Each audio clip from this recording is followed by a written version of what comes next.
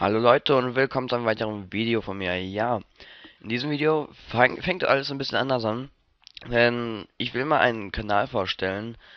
Äh, warum wird später noch gesagt? Ja, ich stelle den Kanal Halovza vor. Ähm, Link ist in der Beschreibung. Entschuldigung. Äh, weil den Namen könnt ihr sicherlich nicht durch das Hören vom Namen aufschreiben. Ich meine, hier könnt ihr es ungefähr sehen. H4LLOR. FSDTZ3R. Also das könnt ihr echt vergessen. Ja, er macht viele Let's Play Shakes and Fidgets Videos. Ja, hier ist auch ein Gewinnspiel oder Gewinnspiele oder sowas. Muss ich mir noch selber angucken. Äh, ja, wie gesagt, er macht viele Shakes and Fidgets Let's Plays. Also ich hoffe mir von euch, dass er dann die 100 Abonnenten locker knackt. Vielleicht auch sogar die 200. Also abonniert ihn einfach, er macht super Videos, hat eine angenehme Stimme. Schaut einfach bei, bei, bei ihm vorbei.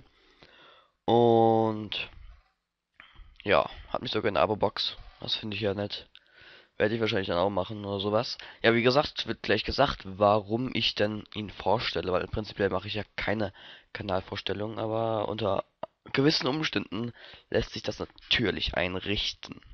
Genau, ja, wir äh, ich habe dieses Video gestartet, weil wir mal wieder spielen können auf S13 und S16. Ähm, dann haben wir dort auch Aura 5. Und ja, äh, ich, ich, rate euch, Pilze bis heute gespart zu haben. Ich meine, kann ich jetzt auch nicht mehr sagen, vor wegen spart euch Pilze bis heute.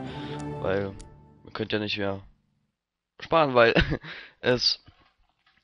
Ach, ihr wisst schon, wie ich meine, weil ihr könnt ja keine es gibt ja keine Tage mehr bis dahin, alter Schwede. Manchmal vergesse ich echt, was ich sagen wollte, aber ist ja auch egal. Jedenfalls, wir sind jetzt im Waffenladen und wir können ein bisschen rumgucken. Stär äh, erstmal schlechter Rüstungswert und ich will meine 200 Rüstung sicherlich nicht aufgeben. Dann im Zauberladen, was gibt's denn hier Schönes? Ähm, nix.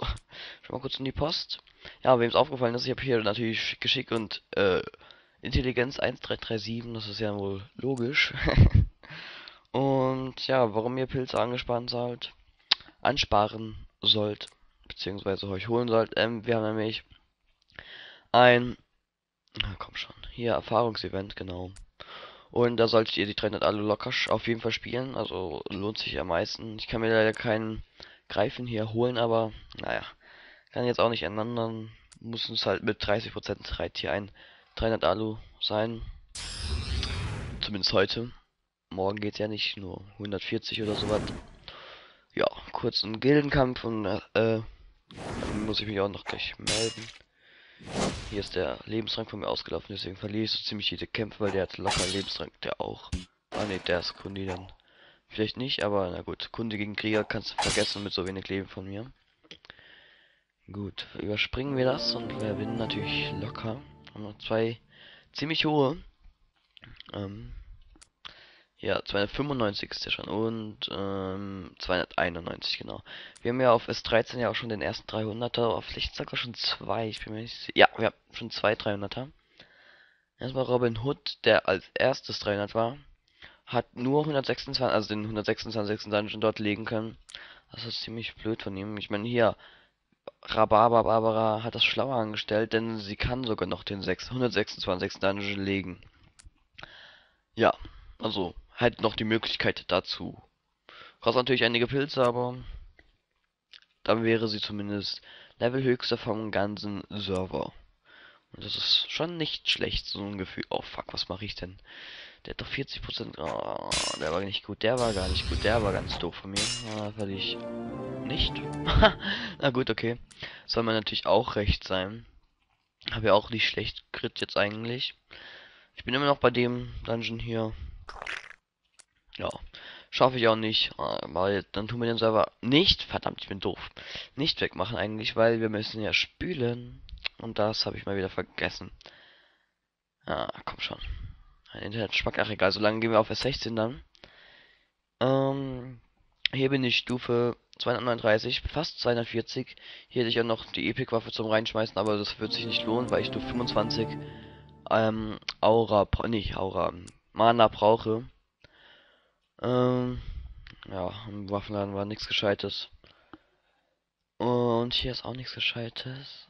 Gut, aber ich nehme das da, weil im Zauberland würde ich euch empfehlen, immer die Sachen für äh, die Toilette zu holen, weil da sind sie einfach ähm, kosten weniger.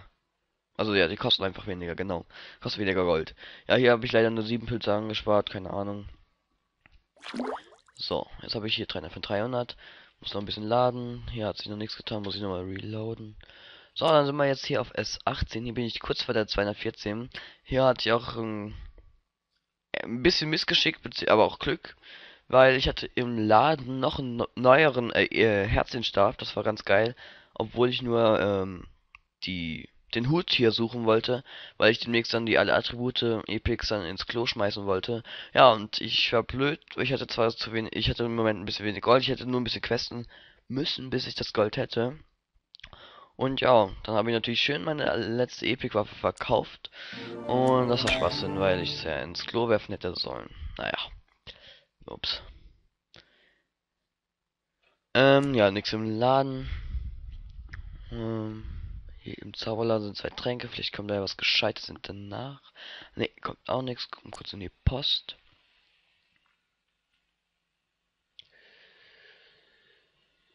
Ja, ja, das tue ich mal gleich durchlesen. Moment. Ehrenhalle. Gucken wir doch mal. Ah ja, genau. Zipfel hat ja ordentlich zugelegt. Hat von 115 bis zu 121 dann die Dungeons gemacht, aber jetzt hat er keine Dungeons mehr für die nächsten Bremsen. Also die gehen ihm so langsam dann extremst aus. Ja. Aber muss er wissen, natürlich. Greifen wir Don Carlos an. Der hat einen Glory Pick also sehe ich jetzt einfach gerade. Glückwunsch dazu, falls du das Video siehst. ja. Ich greife ihn an, weil er wenig Crit hat und sollte deswegen relativ gewinnen. Ja, genau. 200 Ehre. Kurz, gucken wir kurz den Gildenkampf an. ja, gegen Seenlicht, da sollte ich gar nicht drankommen. Theoretisch. Ja, bekommen wir auch nicht. Wer, wer als nächstes dann dran gekommen? Na gut. Ähm, wie ist denn der jetzt so schnell hinter mir gewesen? Moment. Das muss ich jetzt doch erstmal überprüfen, weil eigentlich war der. Hm, jetzt. Relativ weit hinter mir. Okay, der hat noch zwei Dungeons gelegt. Ja, selber schuld, muss ich jetzt dazu sagen. Na gut. Ähm, hier gehen wir auch noch kurz in die in das WC meinte ich. Ich weiß gar nicht, ob ich heute schon gespült habe. Ähm, ich spiele das hier runter. Ah ja, gut, ich habe schon gespielt heute Nacht wohl eher. Ähm, ja gut, das tun wir hier eine Quest schon mal annehmen. Bekommen wir auch doppelt so viel Erfahrung, das ist geil. Merke ich jetzt hier irgendwie weniger von, weil es als Goldquests sind, habe ich so das Gefühl. Also, naja. Geben trotzdem gut Erfahrung. So, jetzt sind wir hier auf S13 wieder, genau. Könnt ihr ja nicht sehen, deswegen muss ich das dazu sagen. Und hier kaufen wir uns das billigste. 28.000 wäre natürlich nice, aber ich brauche unbedingt die Pilze heute. Ich finde ja auch noch heute einen in der ersten Quest. Das ist relativ gut. So, jetzt habe ich hier 300 von 300. Und ich hoffe einfach, dass ich jetzt äh, beim zweimal spielen zwei Epics bekomme. Komm schon. Ich glaub's nicht. Ich glaub's nicht. Gut, jetzt habe ich hier Aura 5 auf bis 18 Aura 5 und jetzt hier auch noch Aura 5. Komm schon, komm schon. Und ich habe nur ein einziges Glücksepic bekommen. Willst du mich verarschen? Das ist echt heftig. Ähm, ach ja, was ich auch noch so kurz sagen wollte.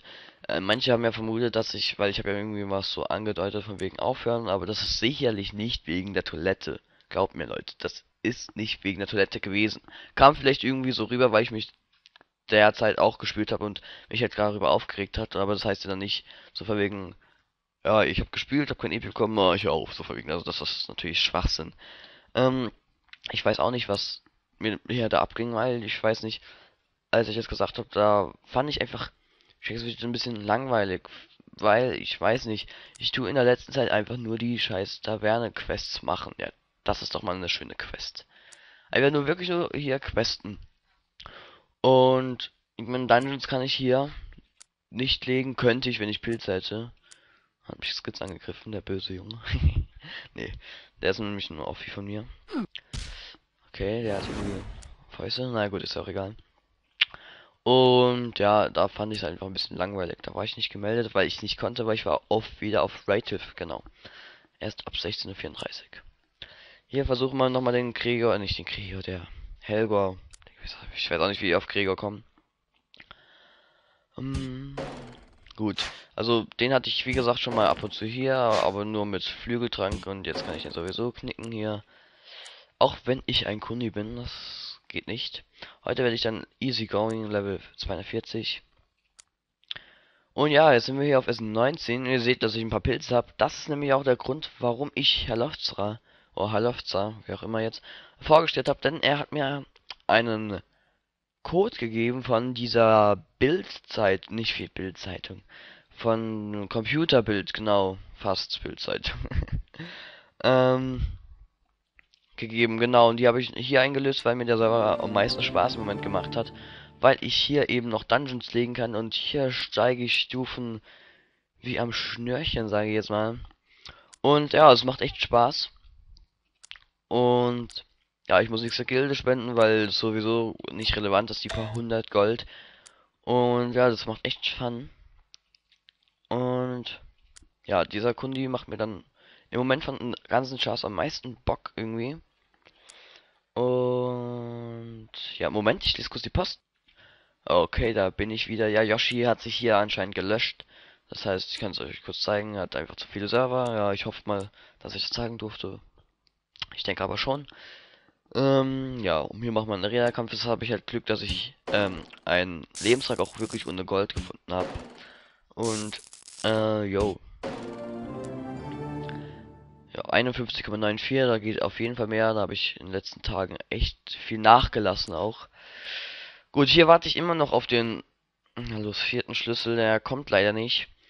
Dabei muss ich leider immer die Rotlicht-Sukubus oder wie auch immer die heißt, ähm, aus probieren bzw. angreifen. Der andere ist dann nochmal Stufe 60, ist Stufe 56 und eigentlich müsste ich einen 52er haben. Aber ich weiß nicht, ich habe mehr äh, Geschick, da sollte die schon irgendwann demnächst anliegen. Das ist, ja, eh relativ uninteressant bei so einem Low-Level, aber mir macht es im Moment Spaß, besonders jetzt, wenn ich auch an beiden Tagen die Trainer Alu spielen kann mit dem XP-Event. Gehen wir kurz auf die Gilde. Ähm, ja, da werde ich gewonnen-hitted, das war klar. Stufe 80. Der erste, das ist heftig. Ja, es haben wir uns auch verdammt viele hier verlassen, also die High Level waren. Und das wirkt sich jetzt äh, auch aus. Ich meine, hier haben wir den höchsten 100. Okay. Aber jetzt doch ordentlich viel hohe noch. Komisch. Naja, ist auch egal. Cover. Ähm, naja. Mal schauen. Ähm, hier habe ich noch zwei Epics, die alt sind. Die speichere ich mir natürlich fürs Klo auf. ja, mal schauen. Eigentlich wollte ich sie schon fürs Klo schon mal aufsparen. Ich meine, ich bin Stufe 45, das dauert noch ewig, aber ich weiß ja auch nicht, wie viele Epics ich bekomme. Und ich glaube, wenn irgendjemand Lust hat, dann müsste er echt mal einen Charakter machen, der keinen Dungeons bis Stufe 100 macht und ab 100 tut er keine Quests mehr machen. Das heißt, er tut Dungeons machen und tut immer so lange ein Dungeon machen, bis er ein Epic bekommt. Das schmeißt er ins, äh, ins Klo. Und das kann er im Prinzip ja jeden Tag machen, bis er halt dann die Dungeons so ausgehen. Und aber klar, das dauert aber auch erstmal ein bisschen, weil du hast verdammt viele Dungeons, wenn du Stufe 100 bist, dann kannst du, glaube ich, 60 mindestens schaffen. Mit Pil ein paar Pilzen. Warte mal, ich kann immer kurz schauen. Ah, hier ist vielleicht nicht so, 50. Okay, auch nicht. Dann vielleicht 350. Auch nicht. Moment, 500. Ach komm. Ja, komm so langsam. Hier 99. Der ist Kundi, ist bisschen Pilzer, der hat 56 Dungeons. Und der ist voll Epic mit einem Glücksepic. Naja, gut. Ähm. Ja, das innere Geräusch nervt mich gerade ein bisschen. Das war knapp sogar beim Dungeon. Äh, beim Quest, aber na gut. Und da müsste er echt immer so, so lange äh, die Dungeons machen, bis ein Epic kommt. Das heißt, vier Dungeons pro Tag und bei 60, dann sollte er 15 Tage ungefähr immer ein Epic immer reinwerfen können. Und ja, sonst halt immer nur normale Items machen. Und klar, die Aura wird dann jetzt, kann ich mal was 18 zeigen, der gerade nicht offen ist. Ähm, Moment. Da habe ich nämlich Aura 5 ja schon. Und ja, da brauche ich 350 ähm, Mana, um das reinzuwerfen. Das heißt, 14 Tage für nur normale Items und sonst nur 7 Tage für die Epics. Das heißt, es dauert schon ziemlich lange, bis man eine richtig gute Aura hat. Also zum Beispiel 10 Aura oder sowas. Und jo, das ist natürlich dann richtig heftig, wenn man dann mit Stufe 100 Aura 10 hat. Weil es ist ja nicht so, dass wenn man Aura 3 hat, dass man dann drei Stufen bessere Epics bekommt oder generell Items. Es ist ja irgendwie anders, diese Variation, weil ich glaube, das ist nämlich auf 1,5, weil ich mit Aura 4 schon sechs Stufen bessere Epics und wenn ich das jetzt mal ganz kurz zeigen darf, da zum Beispiel 200. Ähm, gut, verdammt, das ist Schwachsinn. 4 mal 1,5 ist 6, genau. Und das heißt, bei 10 mal 1,5 sollte 15 sein eigentlich, oder? Ja, logisch. Und ja, das tut sich halt dann schon ziemlich auswirken, auch wenn es halt lange dauern wird. Aber ich meine, die generell die Rekordcharts, die ähm, gehen sowieso auf Gold und sind eigentlich Stadtwachenprojekte und was weiß ich. Und wenn man das halt mit diesem Klo dann noch verbindet, dann kann man wirklich ab Stufe 100 die krassesten Dungeons legen, wenn man wirklich halt Ausländerspieler ist, beziehungsweise man muss ja nicht mal auf Dauer spielen, also ich muss einmal die Stadtwache pro Tag annehmen, wieder reinhauen und naja, bevor man die Stadtwache wieder reinhaut, einfach irgendein anderes Item ins Klo werfen und dann einfach nur gar nichts machen. Das ist eine Sache von 5 Minuten. Also, außer man spielt halt noch bis 100, aber ab der 100 ist es dann gechillt. Also, ja, braucht man zwar drei Jahre, bis man dann den Rekord hat, aber wenn man dann einen Rekord hat, dann kannst du sicher sein, dass da keiner ähm, dir den Stilen stehlen wird, weil ich meine klar, du, du steigst ja auch noch Level dadurch, dass du dann wenn die Dungeons machst, dann würde es vielleicht, ich weiß nicht, best der beste Rekord ist dann bei was weiß ich, also dann äh, von Dungeon 100 ich weiß es nicht, ganz ehrlich. Aber so 3, 20, 30 Dungeons liegt man circa noch dann bei 100. Da würde ich dann einfach mal behaupten, dass man dann so mit 124 vielleicht oder 125, 126 sowas drum ähm, dann einfach besser geht's einfach nicht bei einem Dungeon 100. Aber jo, das hat jetzt eigentlich damit hier im Video nicht so wirklich viel zu tun. Hier müssen wir noch die neue Quest annehmen. Und ja, das war ein bisschen viel dummes Gelaber, aber ich hoffe, es hat euch gefallen. Und ja, wie lange haben wir denn jetzt aufgenommen? Oh, fuck. Naja, ist ja auch egal. Ähm, bis dann, Leute. Tschö, tschö.